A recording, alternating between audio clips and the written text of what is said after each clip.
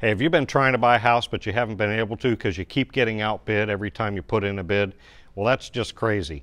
Why not get the house that you want for a lower price and you're not going to be competing against a bunch of other bidders?